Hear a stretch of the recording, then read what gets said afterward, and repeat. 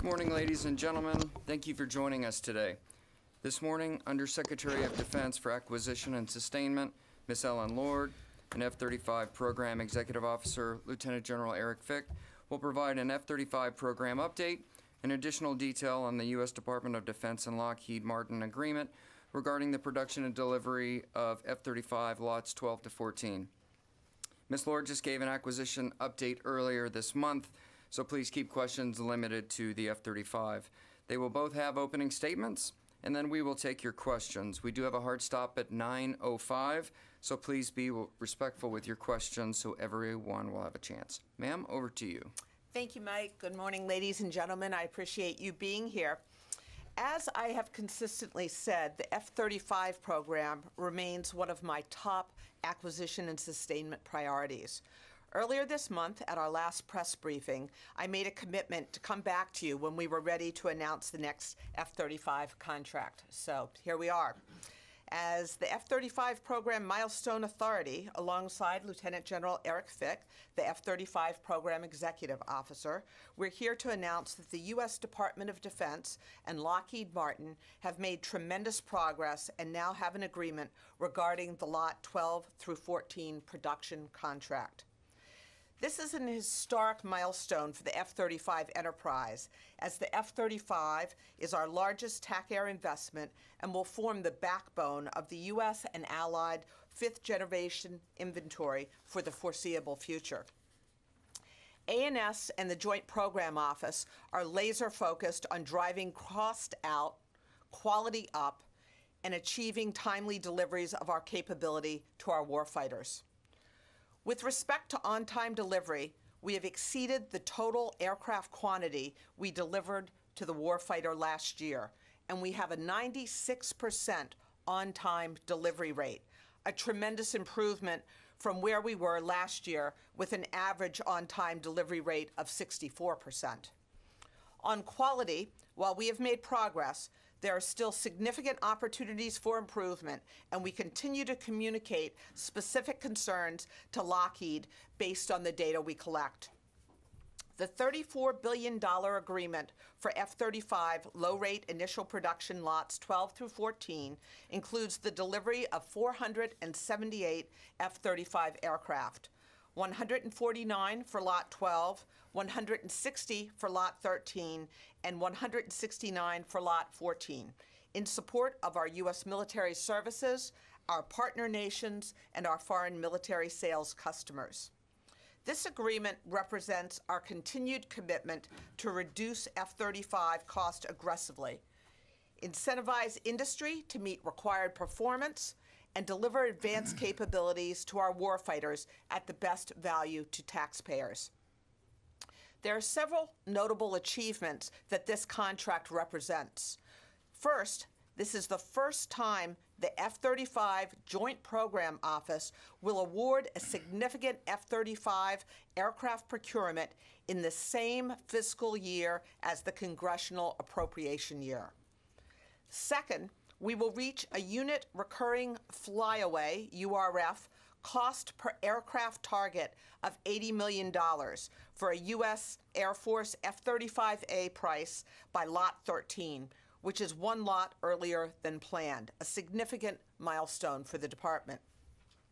The F 35 enterprise will continue to save in the Lot 12 through 14 contract award. For example, in Lot 14, the F 35A unit cost represents an estimated overall 12.8% reduction from LRIP 11 costs for the conventional landing variant.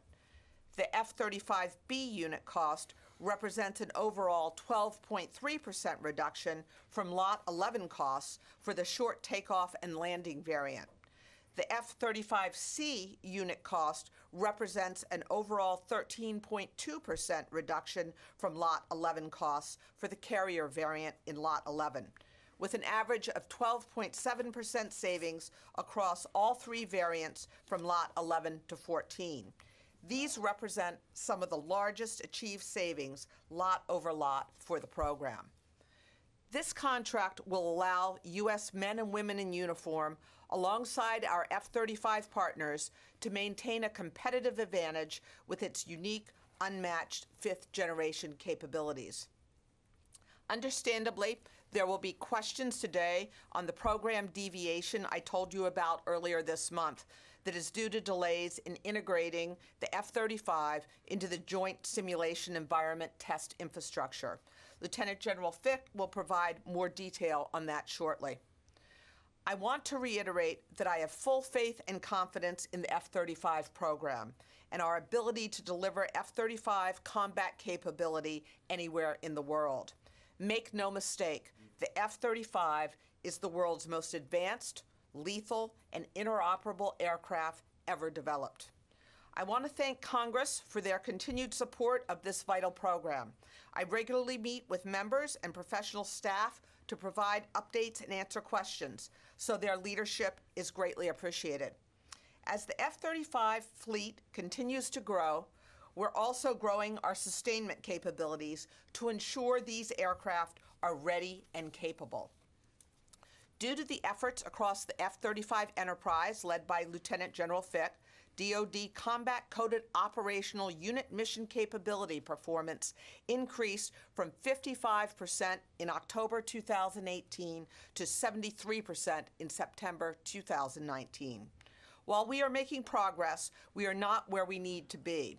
We have industry's commitment on accelerating improvements in sustainment. Our focus is on improved F 35 fleet readiness and driving towards the service affordability goals. To that end, we are placing particular focus on accelerating our depot repair capability, accelerating fleet modifications, and improving Autonomic Logistics Information System, better known as ALIS, functionality and responsiveness. As of last month, over 440 aircraft have been delivered at 17 bases worldwide, with over 850 pilots and 8,200 maintainers. On Turkey and the F 35, there has been no change to return Turkey to the F 35 program. The S 400 air defense system, which is incompatible with the F 35, remains in Turkey.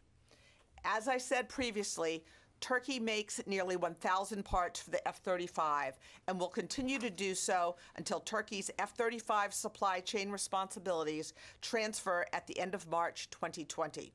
Lockheed Martin and Pratt & Whitney are responsible for that supply chain, so I'll defer any questions to them. In closing, I want to reiterate how regrettable it is that we are again under a continuing resolution.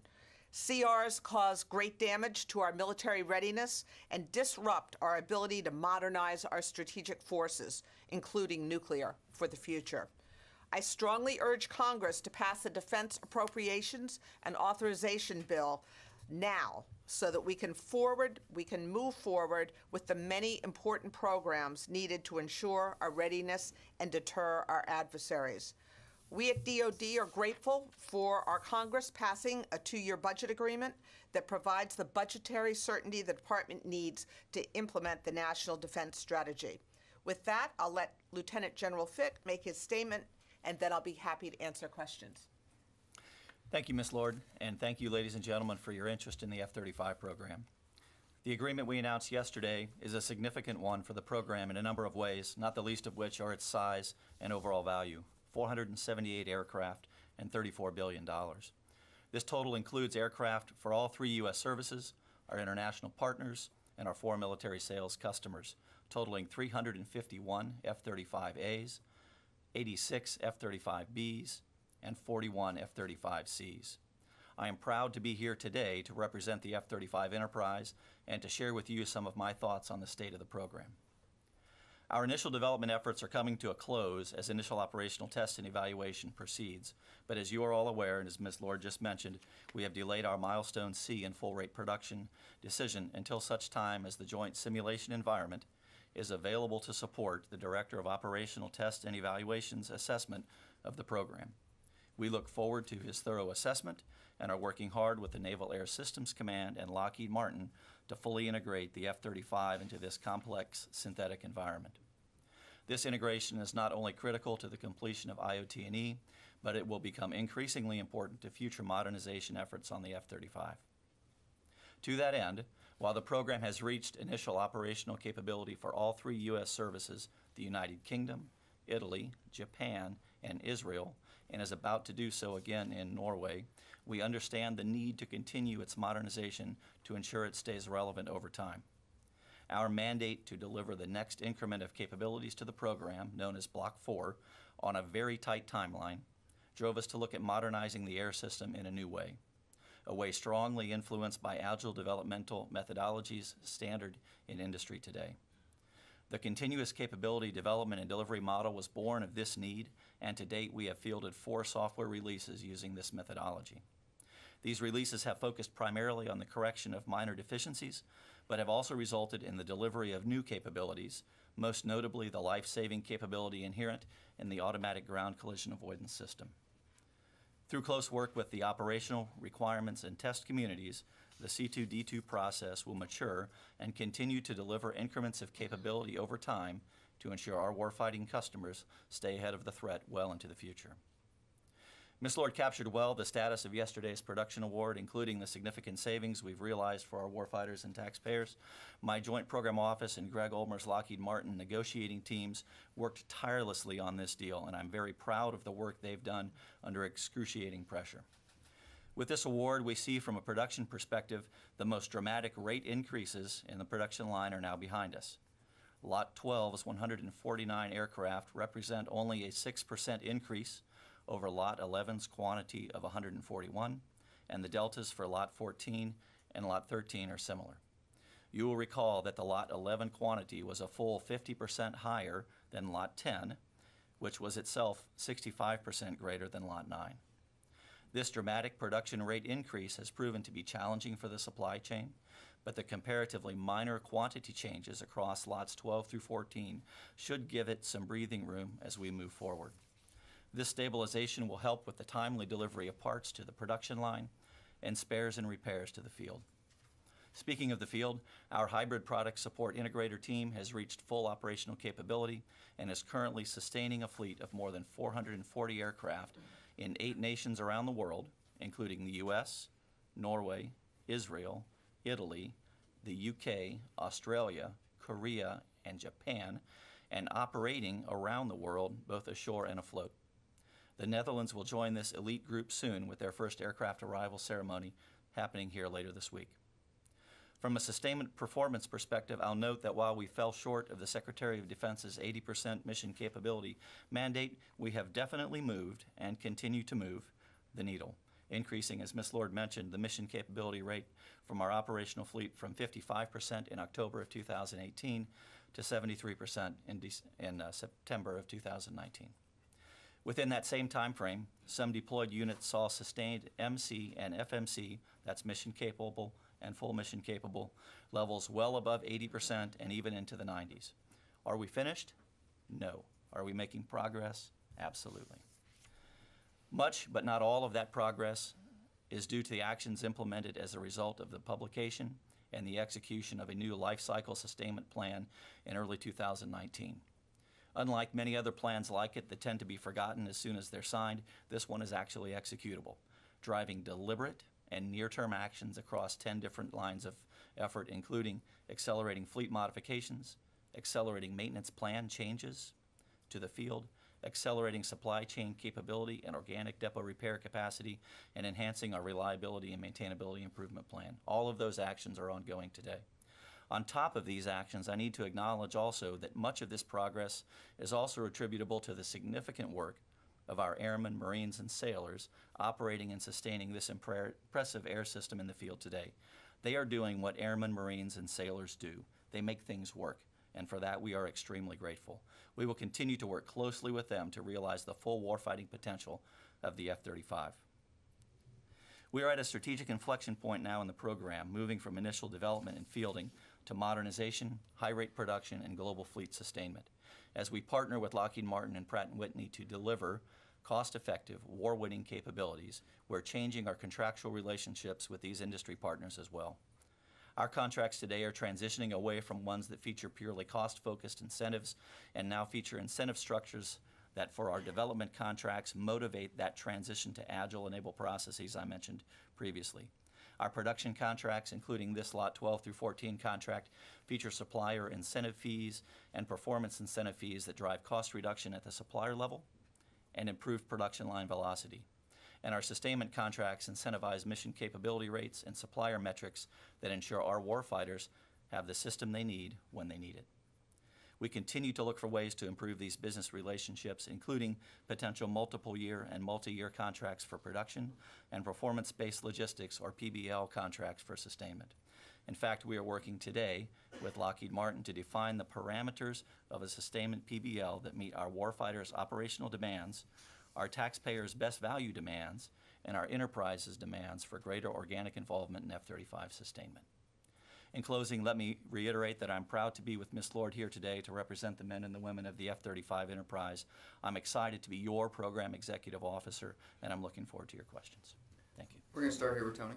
Ms. Lord, uh, for both of you, a couple of weeks ago, you announced that there was going to be a delay in full-rate production decision. So someone not involved in the F-35 program is going to ask, why is the Pentagon putting out contract for 478 more planes when they're delaying what they call full-rate production while the combat testing intended to approve whether it's effective and suitable hasn't been finished yet and won't for, uh, for, you know, for maybe a year?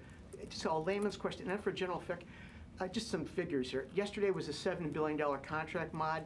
Was that the first tranche of the 34 billion, or was that more like last November when you put $6 billion on it in a long lead? And then joint, uh, the simulation environment, what's the earliest you think it'll be up and running?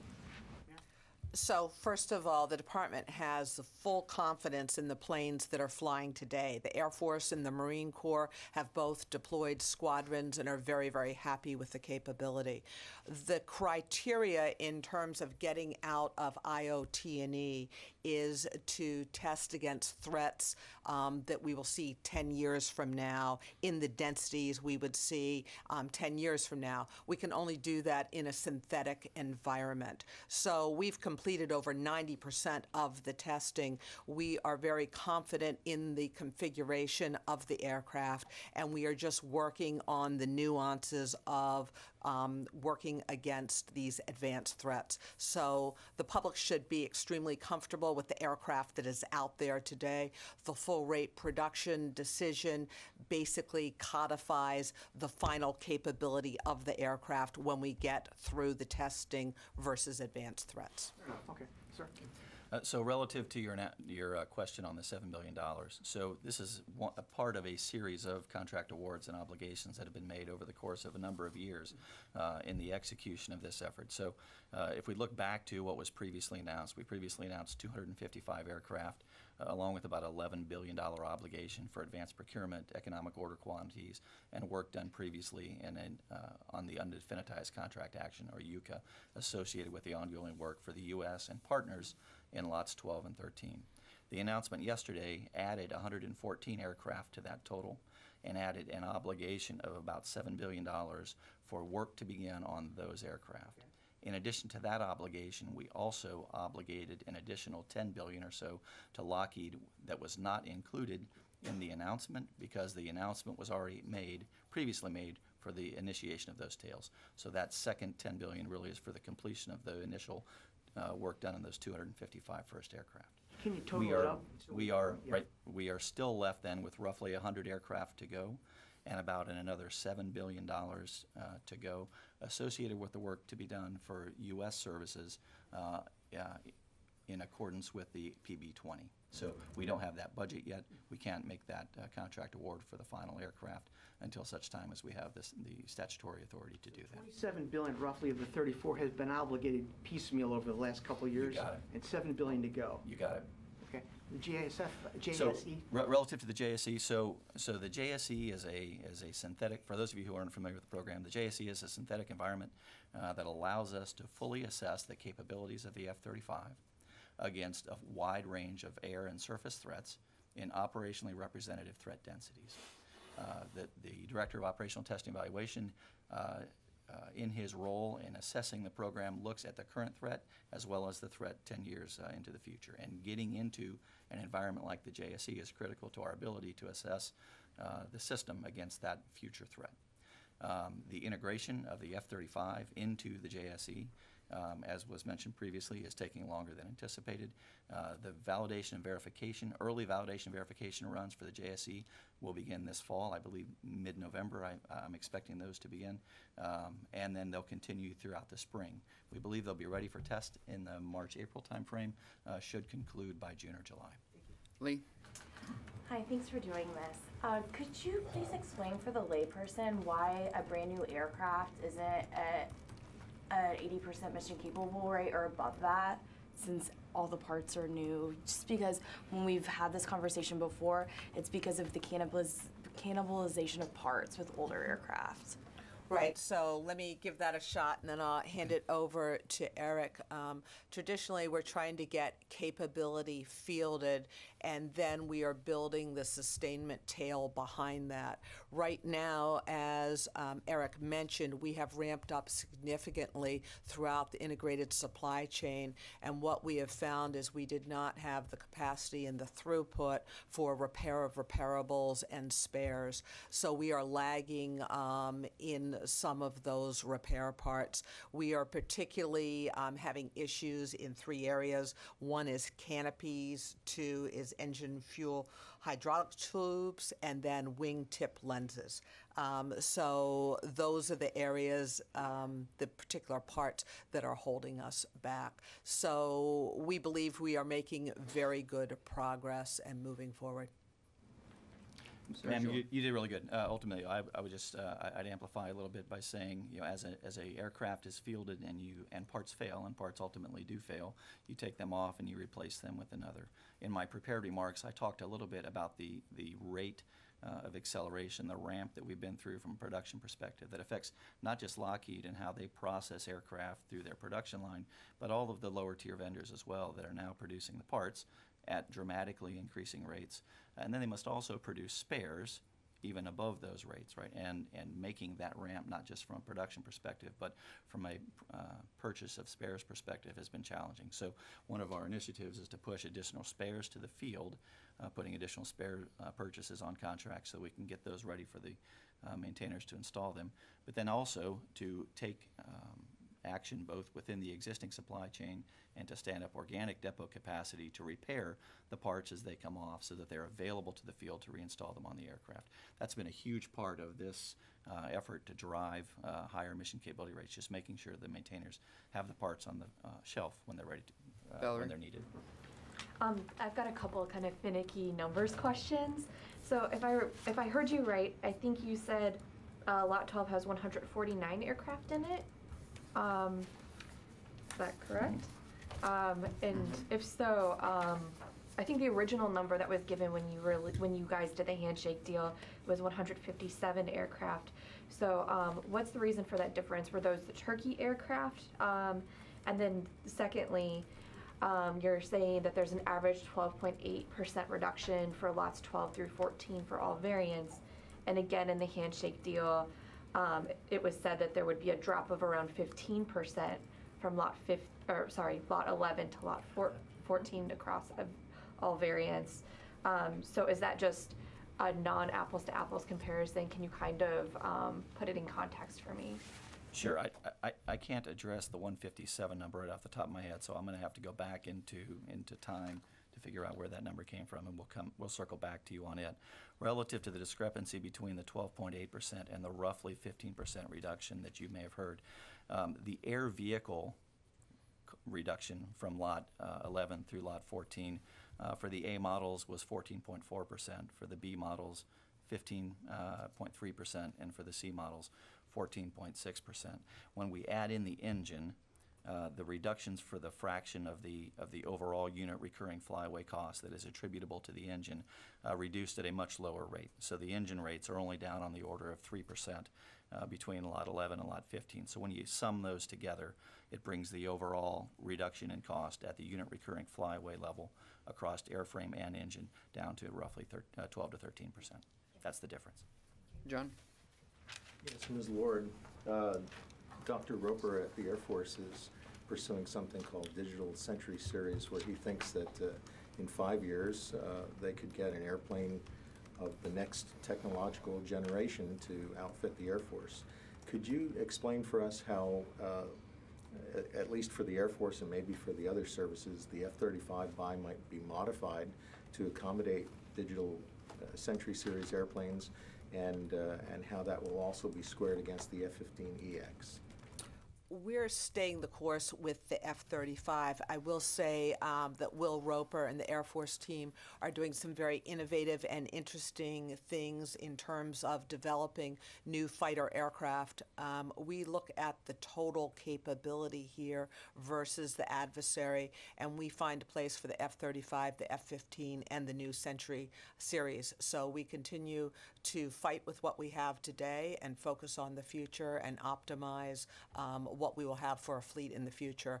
But we are taking all of this in aggregate with a mission engineering approach using all the assets we have. So at this point, there's no revision or, or rethinking of the, uh, the 1763 for the Air Force? No. Yes, uh, Courtney Albon with Inside Defense. Um, General Fick, I wondered if you could uh, provide um, some more details on the technical issues that um, you're working through with the joint simulation environment.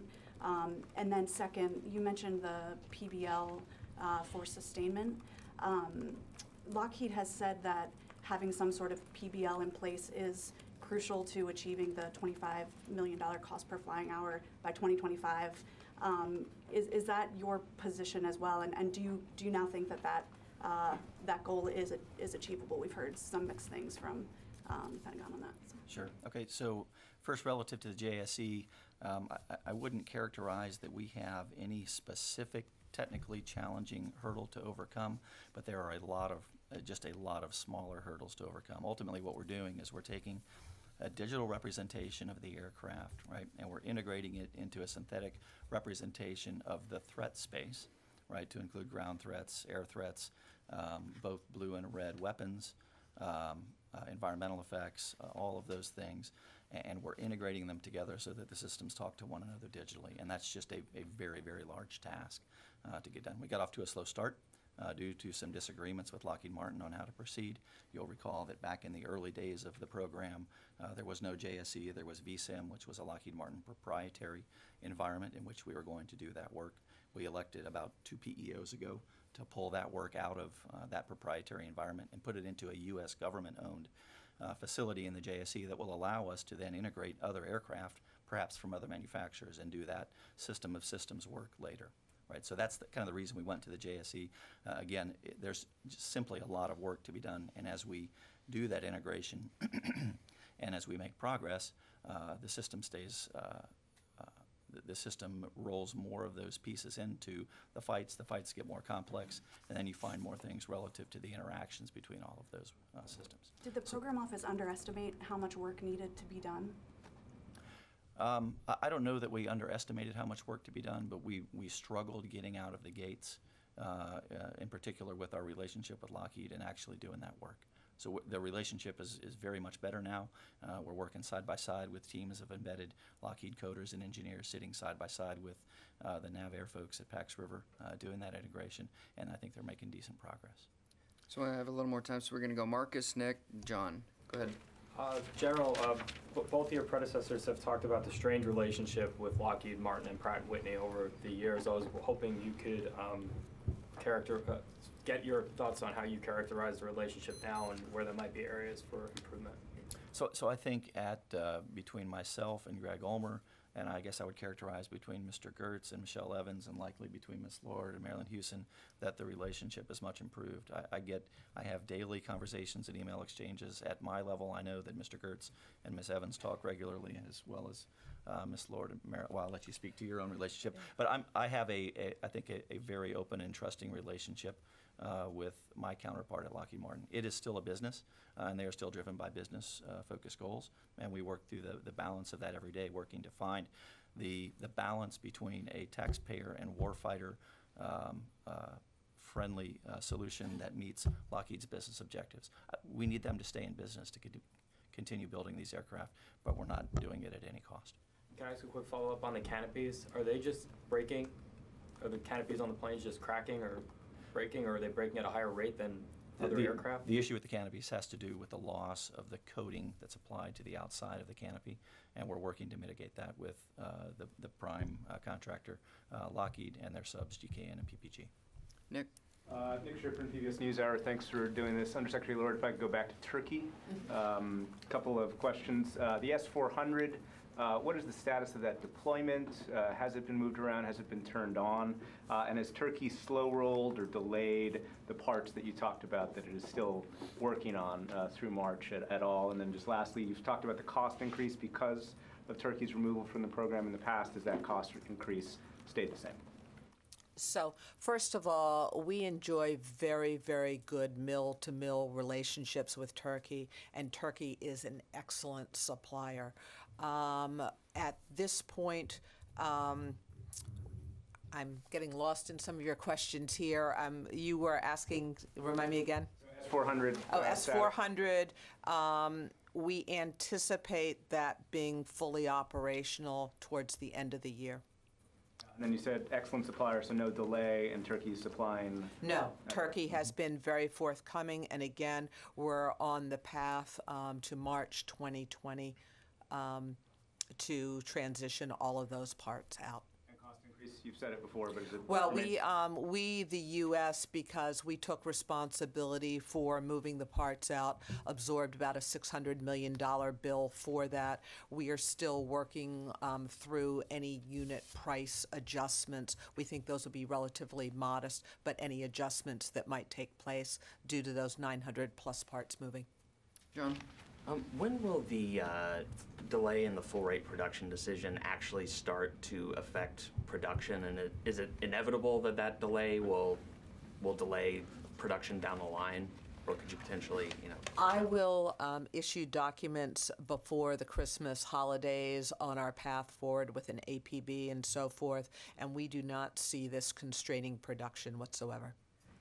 Mike, can I ask a clarification? Hold on one question? sec, hold on one second. Go ahead. Thanks. Hi, Pat Host from Jane's. What role is OSD and the JPO playing in the development of the Air Force's JSE? Because uh, Randall Walden made it sound like the Air Force isn't doing a whole lot of talking with the Navy about lessons to learn from their JSE, and we all know how messed up the Navy's JSE is. Oh, my. Um, so, one of the functions of OSD is to act as the corporate entity across all of the services. So, that's the reason I have a technical staff working under Kevin Fahey as ASDA. And what we do is bring the services together to make sure we pass along critical information. The main way I do that is I meet bi weekly with all three service acquisition executives, and then the off week I meet with them individually.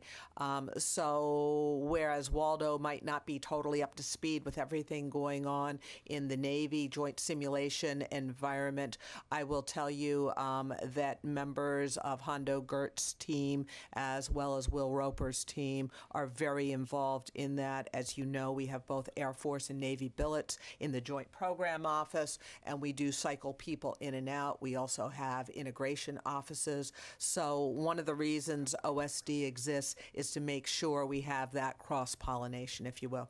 We're gonna the last one right here, Mike. Thanks. Uh, Can I just get an update from you guys on this new pricing and how you expect it to drive international demand? And if you could run through the list of folks that are uh, solid in the international, a new interest bucket, and then maybe a little bit uh, further afield in terms of competitions that you might be eyeing. So let me just say, there is no significant change in pricing here that I think would drive any decisions one way or the other. We have quite a few active discussions on FMS cases. We, we do. We have active, uh, uh, active discussions ongoing with a number of FMS customers. We've talked to uh, Poland, Singapore, among others, who are uh, interested in pursuing the F-35. Uh, that overall list is about 10 different countries. I, I won't rattle them all off now, but uh, I think you can look to anyone flying a U.S. Uh, MDS today and think of them as potential customers uh, for the F-35 off into the future. Ma'am, we're gonna go ahead and stop it there. Do you have any uh, closing remarks? Just want to thank you all for coming today, and you will see a renewed focus on sustainment over the next 12 months out of my office, working with the JPO. Um, we are taking a very data-driven approach towards a potential PBL with Lockheed Martin. So we are working hard at understanding where the operational availability, the mission capability, and where the costs per flight hour are being driven, and making sure we come up with a win-win situation for both the warfighter as well as the taxpayer. Thank you. Clarification, on the thousand parts, Ms. Lord, are those a thousand individual parts or a thousand part types? Individual parts. Okay, thank you, ladies and gentlemen. General, would you have a minute to finish your thought with me? My, my only thought was that the, uh, I, I would not characterize the JSE as all messed up. Uh, there's work to be done, I would not characterize it as So all messed what are, up. what are, what are the lessons learned? What are you doing differently?